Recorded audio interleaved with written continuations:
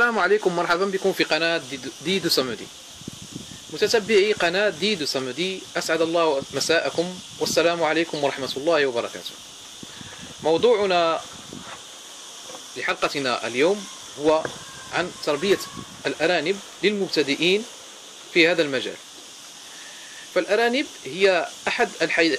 الحيوانات الثديية المستأنفة والتي من الممكن تربيتها سواء في مستودع خاص أو في المنزل حيث ممكن أن يستفاد المربي من لحومها أو ممكن بيعها في الأسواق أو عند الجزار بالكيلوغرام الواحد. ولكن يجب أن نعرف أن تربية أن تربيتها تحتاج إلى رعاية خاصة حيث أنها حيوانات شديدة الحساسية سواء بالنسبة للأمراض أو الظروف البيئية المحيطة بها. فيجب على كل مبتدئ يريد شراء أرانب لأول مرة أن يعي أن هناك شروط يجب أن تتوفر في الأرانب التي سيتم تربيتها. وتتمثل فيما يلي. يجب أن لا يزيد عمر عمرها عن ستة أشهر. ثم التأكد من حالة الأرانب الصحية بحيث لا يكو لا تكون مصابة بالأمراض كالجرب مثلا.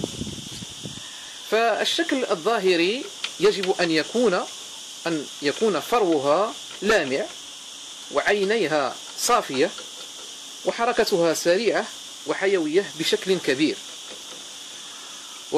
وكذلك يجب أن تكون ذات طابع هادئ أن لا تكون شرسة. وكذلك يجب أن تكون السلالة معروفة كالبابيون والشانشيلا والنيوزيلندي والكاليفورني. مثلا ويجب أن تكون أعمار الذكر والأنثى متقاربة. ثم التأكد من خلو الأعضاء التناسلية من التهابات من الالتهابات. ويراعى كذلك في عملية البحث أن لا يكون أنف الأرنب فيه أي سيلان. ويجب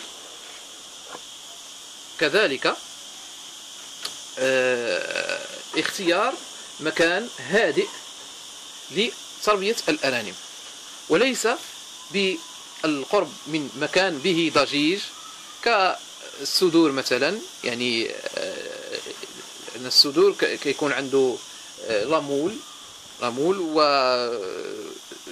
ويكون هناك خبط ورزع فلا يجب أن يكون آه، تكون تربية الأرانب قرب حداد أو مصنع للخياطة مثلا. أما طريقة التربية فمن الأحسن أن يكون أن تكون في أقفاص وليس في الأرض. لماذا؟ لأن آه، في الأقفاص آه، تسهل عملية التنظيف. بحيث يجب أن يعلق مثل هذا القلع أو آه، يعني هو في الحقيقة قلع بلاستيكي معلق تحت القفص بشكل مائل بحيث تتجمع حتى يمكن أن تتجمع كل الفضلات أو المياه في إناء واحد الذي يمكن التخلص منه فيما بعد. كذلك يجب يجب الاهتمام بالإنارة الجيدة. فمثلا أنا عندي هنا مصباح واحد مصباح واحد. يمكن في الليل أن تنير آه، آه، بمصباح واحد. كي لا آه، يكون هناك عتم على الأرانب. وكذلك يجب أن يكون المكان فيه تهوية جيدة. مثلا يمكن للمربي أن يعمل عشة كهذه عشة بسيطة. بحيث الهواء أن العش هذه العشة تكون فيها تهوية على طول السنة وعلى يعني صيفا وشتاء وكذلك نور الشمس. نور الشمس هو ضروري وضروري للأرانب ليس آه، نور الشمس آه، يعني أشعة الشمس المباشرة ولكن آه، بطريقة بطريقة خطوط ممكن أن تفتح خطوط للشمس كي تدخل إلى المكان وذلك لتجفيف وتعقيم الأرانب من الأمراض. تأكدوا إخواني أن نور الشمس ضروري وضروري في تربية الأرانب. كي لا تكون هناك عتمة على على الأنانيم كالمثل الذي يقول الدار أو المنزل الذي تدخله الشمس لا يدخله الطبيب. فعلا هذه المقولة أنا أحترمها لأنها مجربة. نور الشمس ضروري في تربية الأنانيم إذا حلقتنا لهذه لهذا اليوم آه، قد انتهت.